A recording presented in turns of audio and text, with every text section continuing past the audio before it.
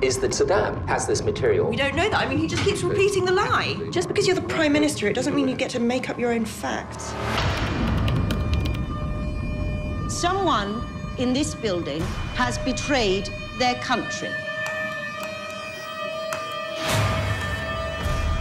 If you are found to have withheld information, you will be charged with a breach of the Official Secrets Act.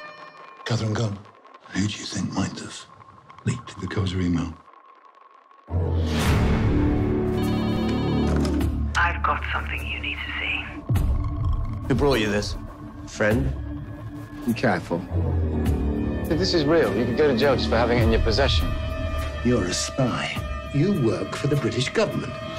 No, I work for the British people. I do not collect information so that the government can lie to the British people. Intelligence may be being manipulated to take this country to war. This paper needs to stop taking Tony Blair at face value. You had nothing to gain and everything to lose. This could result in a prison sentence. Do you want to risk it all? This war is historically unpopular. It's everywhere, every country. Biggest demonstration in human history.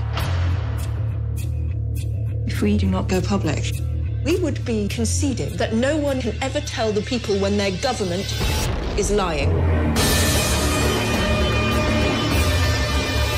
What you did, it was extraordinary. The war is illegal. The public is entitled to know why. My motive was to stop a war and save lives. I have to tell the truth.